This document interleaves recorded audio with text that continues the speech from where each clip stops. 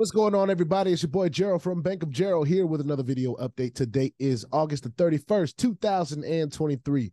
Today, we are going to be talking about um, platforms in general, where this is the BOJ Speaks. Um, and I want to talk about this specific topic because um, we're in a time right now, excuse me, where a lot of platforms that we have been talking about, they're having some issues. They're starting to um, peter off. They're they're ending the the cycle with them is coming to a close, and we've noticed some red flags and different things of that nature. But there's one thing that happens just about every single time a platform goes away. All right, and we're going to talk about that as soon as we get this out the way. I want to remind all of you that I am not a financial advisor. This is not financial advice. I am not your financial advisor. All right, I'm just dude on YouTube showing you guys how I am cranking out that crypto in many different platforms, nothing more and nothing less than that. All right. If you like this content, hit subscribe. If you want to be notified, hit the bell. And please, sir, please, ma'am, don't get scammed by the WhatsApp man. Because if he gets you, there's absolutely nothing I can do to help you. All right. So stay diligent, stay vigilant in this space and in the comment section as well. Ladies and gentlemen, we are here to talk about to talk about um, one of the things that happen in the space when platforms go away. And I want to use a specific platform as an example. Um, CloudFi, right? So CloudFi, of course, we know is no longer paying um, that at least is the stance that we have right now. The communication has gone to zero. Um, you know, at least from the from the leadership standpoint, and withdrawals has ceased. So we're pretty much written that off already, right? Uh, but what is going on, and what you may have seen, what you may not have seen, but could possibly see, is phishing attempts from scammers to uh, make you feel like a platform is coming again, uh, coming back again, or uh, they play on the hope that you may have uh, that a platform is going to return and pay. So what they will do is they will send out notes. They'll send out emails. Some of them will say, "Hey, send this amount of crypto to this address, and we'll reactivate your account." Or, "Hey, we've noticed that um, all you have to do to to get into 2.0 is to go into this new website and use your login credentials and all this different stuff." All right.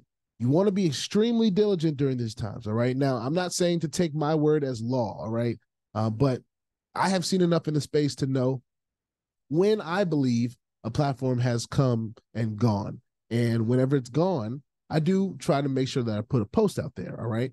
Um, so you can heed to the post. But the one thing that I want to add to that is whether you believe it's over or not, make sure you're checking. The email address is coming from the actual domain. And even then ladies and gentlemen you might be surprised. Um, some of some scammers out here because they may have started from jump street knowing they were going to be a rug pull or a scam um, they don't mind emailing you from the actual email address or support that comes directly from the platform because they're going to try to do whatever they can to get whatever they can out of you. Um, so this is one of the reasons why a lot of times in a lot of platforms, whatever I put in first, I'm willing to stick with it and and get whatever I can get from it for a while before I decide to up my ante. Sometimes I feel a little bit different.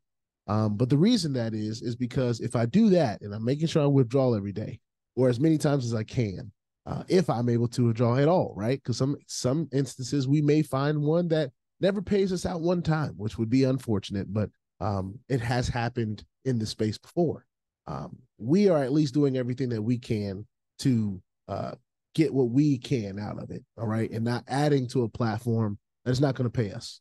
Uh, I've been hearing some rumblings about Vortic, right? And of course, we put out a video about Vortic and we've said that we believe that it's probably done paying. Um, but there are a few people that believe that it's not. And if it's not, then it's not. It'll start paying again and we'll see that. And then we'll come on here and we'll do a video. But what I don't suggest anyone do is add new money to a platform that isn't paying out the money uh, that was supposed to be already. All right. Platforms only really are here to do a couple things for us, right? And they are here to take deposits and process withdrawals. That's all we can ask for. That's all we really want. We don't need anything else. The the additives are the referral plan or whatever else is in place. But uh, what we want to see is the ability to be able to earn more than we deposited. Sometimes it happens, sometimes it doesn't. Um, but at the end of the day, at the end of the day, um, there's a lot of factors that go into that. Okay. Um, some of them we can't control, some of them we can control. Uh, how early we are able to get in may or may not be our under our control per se. Um, but if we're always keeping a little bit on the side, we're staying diversified into many things. I do believe it's possible that when you see opportunities, you're able to jump on them quickly. Um, that is one of the things that has helped me, just having a presence. Of course, another huge thing that has helped me is sharing my journey with like-minded people. Now, everyone is not going to join every platform. Everyone is not going to see what you see in a platform. Everyone is not going to move when you move. All right. That is not an expectation that I have of of the people that watch me. Uh, because I know that the people that watch me should be clear on the fact that I'm just here to document this journey that I'm on. And whatever happens on the journey, if I get referral commissions and stuff like that, then great. It's like a finder's fee. Whoever found me and found a good opportunity, I'm I'm getting a little bit of a cut from that. But um, everyone can do that. Everyone has that opportunity. And I actually advise those of you that are in the space that feel like you can uh, provide value in what you're learning in your journey and provide it to others. You should start a channel. You should start a means of communicating these things to the public, you know, or to the people that want to know. All right. Uh, YouTube is just one big search engine. So the only people that are going to be really watching my videos are the people that are looking for things that I'm talking about. All right. So at the end of the day, uh, we've seen some things in the space over the last two years. Uh, we know some of the red flags that occur, but one of the main things that we want to make sure that does not happen to you is that you don't deposit more money when a platform is not paying. All right, that you don't continue to feed it and it's not going to feed you. Okay, um, that's where we are right now. Uh, we have to be in an aggressive defensive standpoint here at BOJ because, of course, we're aggressive in finding the opportunity. We're defensive in how we handle them.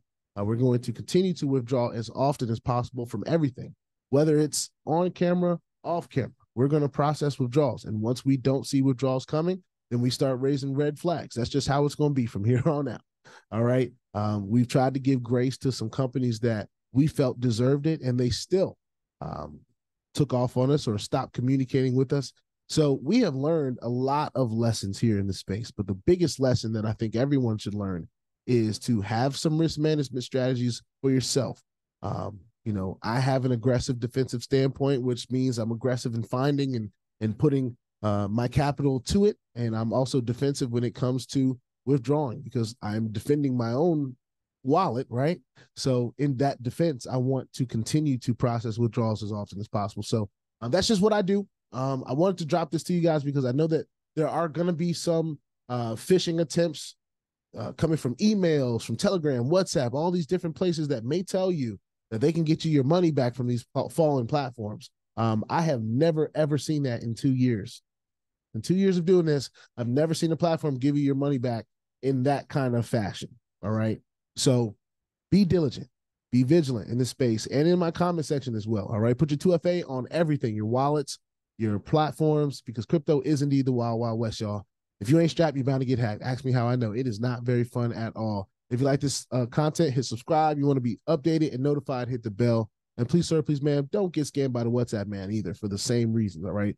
They're just here to take, and uh, we're here to edit, we're here to educate you guys on that. Hopefully, most of you have already uh, been able to maneuver. You may have seen, ooh, you may have seen uh, some things going on out there, but I just want you guys to know. All right, from from my mouth to you guys' ears, we got to pay attention to this stuff. All right.